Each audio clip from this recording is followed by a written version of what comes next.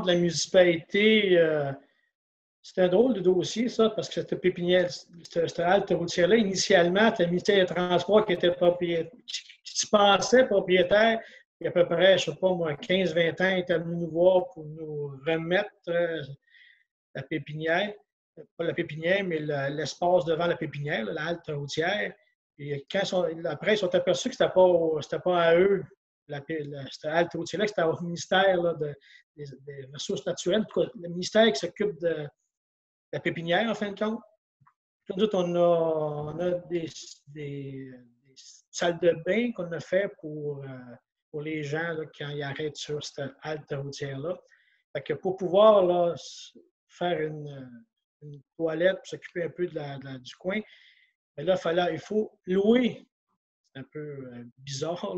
Là, on loue, c'est pas un gros montant quand même, on, loue au ministère pour nous permettre de rendre un service à la population. Puis on avait essayé encore d'essayer d'obtenir, au moins, on dit, si vous ne voulez pas vous en occuper, on est prêt à s'en occuper. Nous, on, on, prendrait, vendez-nous, cédez-nous cette lisière-là. Actuellement, ils ne veulent pas nécessairement faire ça.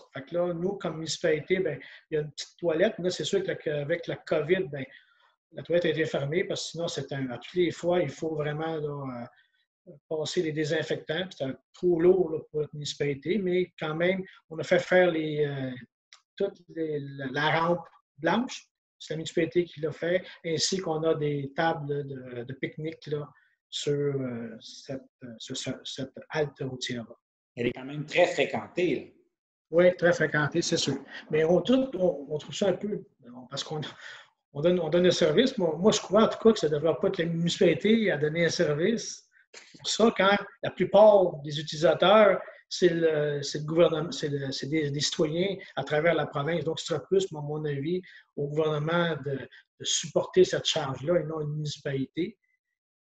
C'est notre opinion, mais en tout cas, actuellement, c'est qu'on loue c'est pas un gros montant, mais on loue. C'est nous qui, donnons, le service là,